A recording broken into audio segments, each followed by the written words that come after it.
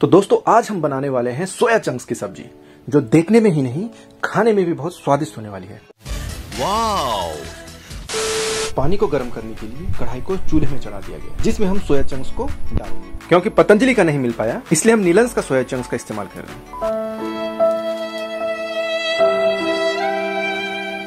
अब हम पानी में डालने वाले हैं नमक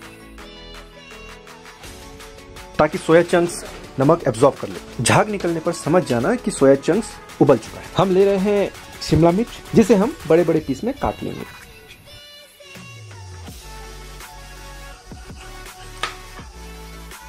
हम यहाँ शिमला मिर्च के बीज को निकालकर अलग कर ले रहे हैं क्योंकि ये बेकार होता है परेशानी पैदा करता है। आप ही का बीज है।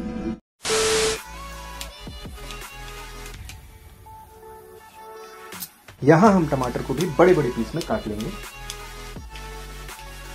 दोस्तों इस रेसिपी को बनाने के लिए प्याज को हम दो अलग अलग तरीके से काटने वाले हैं। पहले तरीके में हम प्याज को बड़े बड़े पीस में काटेंगे। अब हम प्याज को बारीक तरीके से चॉप करेंगे। ध्यान रहे हाथ न कटे। अब आप देखिए प्याज कैसे काटना है। आराम से दे। आराम से दे। आराम से दे। आराम से दे।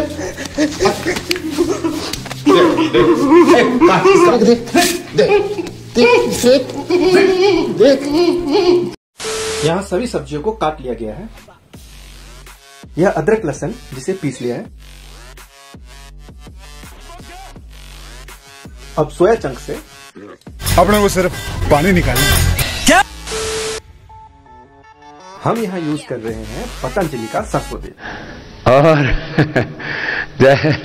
तमाम तरह के ये जो तेल में सोया चंक्स को हल्का ब्राउन होने तक फ्राई करेंगे।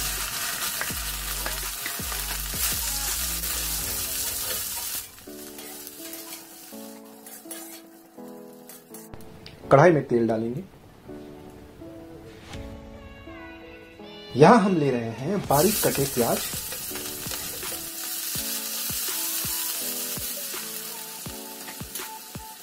टमाटर। नमक। अदरक, लहसुन पेस्ट। हरी मिर्च। लाल मिर्च पाउडर। हल्दी, धनिया। अब डालेंगे थोड़ा पानी ताकि मसाले जल ना जाए।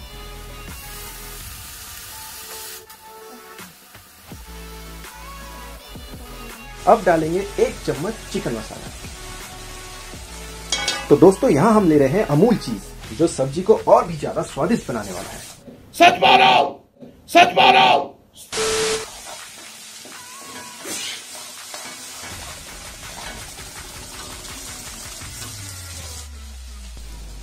अब डालेंगे टमाटर।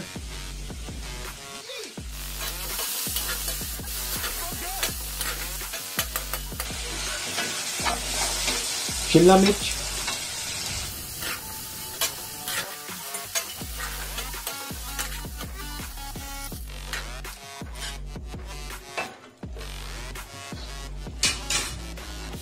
अब हम डाल रहे हैं सोया चंक्स थोड़ी देर तक अब सब्ज़ी को पकाएँगे। थोड़ा टाइम लगेगा। क्या लगता है कितना टाइम लगा क्या अंदाज़ा बता बता। चलो वीडियो थोड़ा फास्ट कर लेते हैं।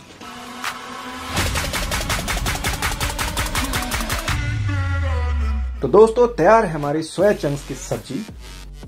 मिलते हैं अगले वीडियो में अलग और मज़ेदार रेसिपी के साथ। वीडियो को लाइक कमेंट और चैनल को सब्सक्राइब करना ना भूलें। धन्यवाद।